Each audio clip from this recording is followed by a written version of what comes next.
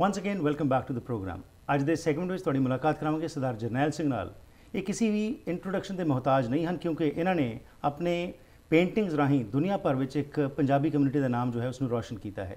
ਆਵਾਜ਼ ਇਹਨਾਂ ਨਾਲ ਗੱਲਬਾਤ ਕਰਦੇ ਹਾਂ, ਕਿਹੜੀ ਚੀਜ਼ ਇਹਨਾਂ ਨੂੰ ਪ੍ਰੇਰਿਤ ਕਰਦੀ ਹੈ ਤੇ ਕਿਸ ਤਰੀਕੇ ਨਾਲ ਫਿਊਚਰ ਦੇ ਵਿੱਚ ਇਹ ਹੋਰ ਪੰਜਾਬੀ ਕਲਚਰ ਨੂੰ ਤੇ ਨਾਲ ਕੈਨੇਡੀਅਨ ਕਲਚਰ ਨੂੰ ਡਿਪਿਕਟ ਕਰ ਰਹੇ ਨੇ? ਜੀ Anu ji welcome to the programme thank you so ਥੋੜਾ ਜਿਹਾ ਪਿਛੋਕੜ ਜੀ ਬਰੀਫਲੀ ਚਾਹਾਂਗੇ ਕਿ ਤੁਸੀਂ ਕਾਫੀ ਹੁਣ ਲੰਮੇ ਸਮੇਂ ਤੋਂ ਕੈਨੇਡਾ ਵੀ ਰਹਿ ਰਹੇ ਹੋ ਪੰਜਾਬ ਵਿੱਚ ਵੀ ਤੁਸੀਂ ਚਿੱਤਰਕਾਰੀ ਨਾਲ ਜੁੜੇ ਹੋਏ ਸੀ। ਤਾਂ ਕਿਹੜੀ ਚੀਜ਼ ਤੁਹਾਨੂੰ ਮੋਟੀਵੇਟ ਕਰਦੀ ਹੈ? ਮੋਟੀਵੇਟ ਤਾਂ ਹਰਪ੍ਰੀਤ ਜੀ ਤੁਹਾਨੂੰ ਪਤਾ ਜਿਸ ਤਰ੍ਹਾਂ ਮੇਰੇ father Sardar Kirpal Singh founder artist ਸੀ ਸੈਂਟਰ ਸਿੱਖ ਮਿਊਜ਼ੀਅਮ ਅੰਮ੍ਰਿਤਸਰ ਦੇ। ਜੀ। ਜਿੰਨੀ ਸਿੱਖ ਹਿਸਟਰੀ ਉਹਨਾਂ ਨੇ ਪੇਂਟਿੰਗ ਕੀਤੀਆਂ ਨੇ। ਉਹੀ ਮੇਨ ਇਨਸਪੀਰੇਸ਼ਨ ਸੀਗੀ ਮੇਰੀ। ਰਾਈਟ ਕਿ ਸਿੱਖਾਂ ਦੀ ਜਿਹੜੀ ਹਿਸਟਰੀ ਆ ਜੇ ਗੁਰੂ ਸਾਹਿਬ ਦਾ ਜਿਹੜਾ ਮੈਸੇਜ ਹੈਗਾ ਹੈ ਸਾਂਝੀਵਾਲਤਾ ਦਾ ਮਨੁੱਖਤਾ ਦਾ ਲੋਕ ਭਲਾਈ ਦਾ ਤੇ ਜ਼ੁਲਮ ਦੇ ਖਿਲਾਫ ਜਦੋਜਹਿਦ ਦਾ ਜੀ। ਵੀ ਉਹਨੂੰ ਅੱਗੇ ਪੇਂਟਿੰਗ ਰਾਹੀਂ ਦੁਨੀਆ ਤੱਕ ਪਹੁੰਚਾਉਣਾ। ਹੈ ਰਾਈਟ ਤੇ ਉਸੇ ਤੋਂ ਸਾਰੀ ਮੈਨੂੰ ਇਨਸਪੀਰੇਸ਼ਨ ਮਿਲੀ। ਬਹੁਤ ਕੋ ਪੇਂਟਿੰਗਸ ਦਾ ਕਿੱਤਾ ਜਿਹੜਾ ਫਿਰ ਤੁਸੀਂ ਅਡਾਪਟ ਕੀਤਾ ਕਿਉਂਕਿ ਜਿਸ ਸਮੇਂ ਤੇ ਤੁਸੀਂ ਅਡਾਪਟ ਕੀਤਾ ਸੀ ਉਸ ਟਾਈਮ ਤੇ ਅਸੀਂ ਐਪਰੀਸ਼ੀਏਟ ਤਾਂ ਕਰ ਦਿੰਦੇ ਸੀ ਕਿ ਜੀ ਬੜੀ ਵਧੀਆ ਪੇਂਟਿੰਗ ਹੈ ਪਰ ਕੋਈ ਲੈਣ ਨੂੰ ਤਿਆਰ ਨਹੀਂ ਜਾਂ ਜਿਸ ਤਰ੍ਹਾਂ ਅਸੀਂ ਵੈਸਟਰਨ ਕੰਟਰੀਜ਼ ਦੇਖਦੇ ਹੈਗੇ ਆ ਕਿ ਉਹਦੀ ਇੰਨੀ ਕਦਰ ਨਹੀਂ ਹੁੰਦੀ ਹੈਗੀ ਸੀ ਮਾਇਕ ਤੌਰ ਦੇ ਉੱਤੇ।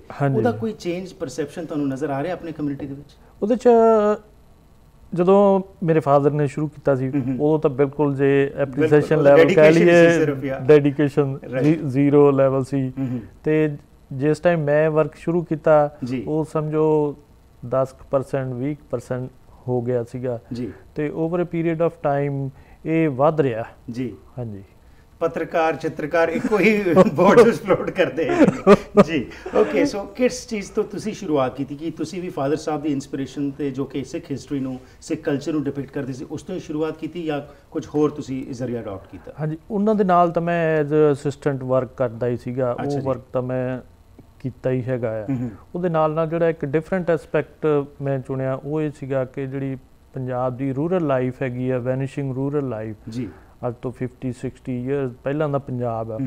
ਉਹ ਮੈਂ ਸੋਚਿਆ ਕਿ ਇਹ ਪੇਂਟ ਕਰੀਏ ਕਿ ਜੇ ਆਉਣ ਵਾਲੀਆਂ ਜਨਰੇਸ਼ਨ ਨੂੰ ਪਤਾ ਲੱਗ ਸਕੇ ਕਿ ਸਾਡਾ ਲਾਈਫ ਸਟਾਈਲ ਕਸਟਮਸ ਟ੍ਰੈਡੀਸ਼ਨਸ ਕੀ ਸੀਗੀਆਂ। ਤੇ ਉਹਦੇ ਤੇ ਫਿਰ ਮੈਂ ਕੰਸਿਸਟੈਂਟਲੀ ਇੱਕ ਪ੍ਰੋਜੈਕਟ ਜਿਸ ਤਰ੍ਹਾਂ ਬਣਾ ਕੇ ਕੰਮ ਕਰੀਦਾ ਹਾਊਸ ਹੋਲਡ ਵਰਕਸ ਫਿਰ field works women's daily working conditions men's ਖੇਤਾਂ 'ਚ ਕੰਮ ਕਰ ਰਹੇ ਘਰ। ਦੇ ਵਿੱਚ ਔਰਤਾਂ ਕੰਮ ਕਰ ਰਹੀਆਂ ਉਹ ਸਾਰਾ ਕੁਝ ਪੇਂਟ ਕੀਤਾ। ਓਕੇ ਕੈਨੇਡਾ ਜਦੋਂ ਆਏ ਕਿ ਉਸੇ ਪਰੰਪਰਾ ਨੂੰ ਤੁਸੀਂ ਅੱਗੇ ਲੈ ਕੇ ਆਏ ਲੋਕਾਂ ਨੂੰ ਇੱਥੇ ਦਿਖਾਇਆ ਕਿ ਪੰਜਾਬ ਦਾ ਕੀ ਕਲਚਰ ਹੈ ਕੀ ਇਤਿਹਾਸ ਹੈ ਜਾਂ ਇੱਥੇ ਆ ਕੇ ਤੁਸੀਂ ਜੋ ਇੱਥੋਂ ਦੇ ਵਾਤਾਵਰਣ ਸੀ ਉਸ ਨੂੰ ਲੈ ਕੇ ਅੱਗੇ ਆਏ।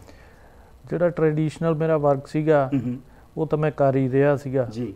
ਤੇ ਇੱਥੇ ਆ ਕੇ ਇੱਕ ਜਿਹੜਾ ਨਵਾਂ ਐਸਪੈਕਟ ਮੇਰੇ ਵਰਕ ਦੇ ਵਿੱਚ ਆਇਆ ਇੱਕ ਤਾਂ ਇੱਥੋਂ ਦੀ ਜਿਹੜੀਆਂ ਸਾਡੇ ਪਾਇਨੀਅਰਸ ਦੀ ਸਟਰਗਲਸ ਐਂਡ ਸੈਕਰੀਫਾਈਸ ਜਿਸ ਤਰ੍ਹਾਂ ਕਾਮਾਗਾਟਾ ਮਾਰੂ ਦੀ ਸਟੋਰੀਜ਼ ਆ ਜਾਂ ਉਹ ਸਾਰੀ ਪੇਂਟ ਕਰ ਰਿਹਾ ਮੈਂ ਅੱਜਕੱਲ ਕਰੰਟ ਉਹਦੇ ਤੇ ਹੀ। ਅੱਛਾ ਜੀ। ਔਰ ਫਿਰ ਜਿਹੜਾ ਇੱਥੋਂ ਦੇ ਫਾਰਮ ਵਰਕਰਸ ਲਾਈਫ ਆਪਣੇ ਲੋਕਾਂ ਦੀ ਆ ਜਿੱਦਾਂ ਬੇਰੀ ਪੇਕਿੰਗ ਉਹ ਵੀ ਮੈਂ ਪੇਂਟ ਕਰ ਰਿਹਾ। ਸੋ ਟ੍ਰੈਡੀਸ਼ਨਲ ਵਰਕ ਪੰਜਾਬ ਦੇ ਨਾਲ ਜੁੜਿਆ ਹੋਇਆ ਉਹ ਤਾਂ। ਕਰ ਹੀ ਰਹੇ ਆ. ਉਹ ਤਾਂ ਕਰਨਾ ਹੀ ਆ। ਤੇ ਨਾਲ ਹੀ ਜਿਹੜਾ ਇੱਥੋਂ ਦੀ ਜਿਹੜੀ ਸਾਡੀ ਕੈਨੇਡੀਅਨ ਪਾਇਨੀਅਰ ਦੀ ਲਾਈਫ ਆ ਜਾਂ। ਹੁਣ ਵਾਲੀ ਲਾਈਫ ਆ ਉਹਦੇ ਤੇ ਵੀ ਮੈਂ ਵਰਕ ਕਰ ਰਿਹਾ। ਇੱਥੋਂ ਦਾ ਲੈਂਡਸਕੇਪ ਬਹੁਤ ਬਿਊਟੀਫੁਲ ਹੈਗਾ ਹੈ ਅਤੇ. ਤੁਸੀਂ ਹੁਣ ਪ੍ਰਦਰਸ਼ਨੀਆਂ ਜਿਹੜੀਆਂ ਲਾਉਂਦੇ ਹੋ ਨਾ ਸਿਰਫ ਗੁਰਦੁਆਰਿਆਂ 'ਚ ਬਲਕਿ ਨਾ ਆਪਣੀ ਕਮਿਊਨਿਟੀਜ਼ ਬਾਹਰਲੀ ਕਮਿਊਨਿਟੀਜ਼ ਵਿੱਚ ਵੀ ਜਾ ਕੇ ਲਾ ਰਹੇ ਹੋ। ਉਹਦਾ ਕਿਹੋ ਜਿਹਾ ਰਿਸਪੌਂਸ ਆ ਰਿਹਾ ਹੈਗਾ ਉਹਦਾ ਹਰਪ੍ਰੀਤ ਜੀ ਜਦੋਂ ਮੈਂ ਇੱਥੇ ਮੂਵ ਕੀਤਾ ਫਿਰ 10 ਇਅਰਸ ਬੈਕ। ਆਲਮੋਸਟ ਤੇ ਉਹ ਜਿਵੇਂ ਹੁੰਦਾ ਕੋਈ ਬਲਹਾਰੀ ਕੁਦਰਤ ਵਸਿਆ ਤੇ ਰਾਂਤ ਨਾ ਜਾਏ ਇੰਨਾ ਬਿਊਟੀਫੁਲ ਆ। British Columbia it's really natural supernatural ਕਹਿ ਜੀ। ਸਕਦੇ ਆ ਤੇ ਉਹ ਬਹੁਤ ਮੈਨੂੰ ਇਨਸਪਾਇਰ ਕੀਤਾ ਔਰ। ਮੈਂ ਉਹ ਇੱਥੋਂ ਦਾ ਲੈਂਡਸਕੇਪ ਪੇਂਟ ਕੀਤਾ ਜੀ ਔਰ ਉਹਨੂੰ ਅਵਾਰਡਸ ਵੀ ਮਿਲੇ ਔਰ ਪਰਸਨਲੀ ਮੈਂ ਉਸ ਕੰਮ ਤੋਂ ਬਹੁਤ ਹੈਪੀ ਐ it gives me happiness joy. ਤੇ ਸੈਟੀਸਫੈਕਸ਼ਨ ਵੀ।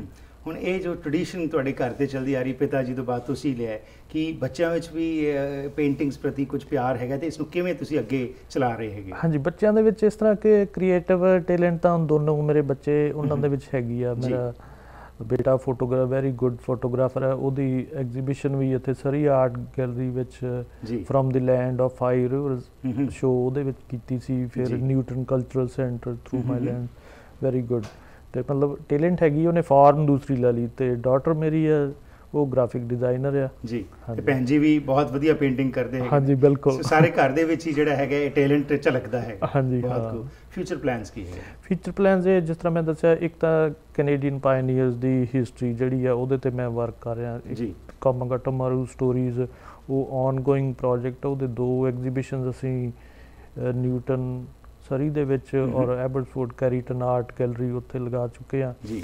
ਤੇ ਉਹਦੇ ਚ 10 ਪੇਂਟਿੰਗ ਸੀਗੀਆਂ। ਸਾਰੀ ਸਟੋਰੀ ਟੈਲ ਕਰਦੀਆਂ how the ship started from Hong Kong ਤੋਂ ਸ਼ੁਰੂ। ਰਾਈਟ ਤੇ ਹੁਣ ਉਹਦੇ ਚ ਹੋਰ ਐਡ ਔਨ ਵਰਕ ਕਰ ਰਹੇ ਆ।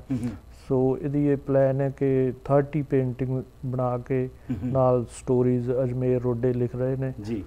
ਤੇ ਉਹਨਾਂ ਦੀ ਫਿਰ ਐਗਜ਼ੀਬਿਸ਼ਨ ਜੂਨ ਦੇ ਵਿੱਚ ਕੀਤੀ ਜਾ ਤੇ ਅਲਟੀਮੇਟਲੀ ਇਹਨੂੰ ਬੁੱਕ ਫਾਰਮ ਦੇ ਵਿੱਚ ਪਬਲਿਸ਼ ਕੀਤਾ ਜਾਊਗਾ। ਇਹ ਜਿਹੜਾ ਤੁਹਾਡੇ ਚ ਟੈਲੈਂਟ ਹੈ ਹੁਨਰ ਹੈਗਾ ਇਸ ਨੂੰ ਤੁਸੀਂ ਕੀ ਹੋਰ ਬੱਚੇ ਜਿਹੜੇ ਇਸ ਪਾਸੇ ਨੂੰ ਆਉਣਾ ਚਾਹੁੰਦੇ ਨੇ? ਕਿ ਉਹਨਾਂ ਵਿੱਚ ਵੀ ਆਪਣੀ ਜਿਹੜੀ ਇਹ ਟੈਲੈਂਟ ਨੂੰ ਦੇਣ ਦੀ ਕੋਸ਼ਿਸ਼ ਕਰ ਰਹੇ ਹੋ? ਕੀ ਕੁਝ ਹਾਂਜੀ ਇਹ ਇਹ ਕਰ ਰਹੇ ਹਾਂ ਜੀ ਜਦੋਂ ਸ਼ੁਰੂ ਚ ਇੱਥੇ ਆਏ ਤਾਂ ਸਾਨੂੰ ਬਹੁਤ ਲੋਕਾਂ ਨੇ ਕਿਹਾ ਕਿ ਤੁਸੀਂ ਟੀਚਿੰਗ ਕਲਾਸਿਸ ਸ਼ੁਰੂ ਕਰੋ। ਜੀ।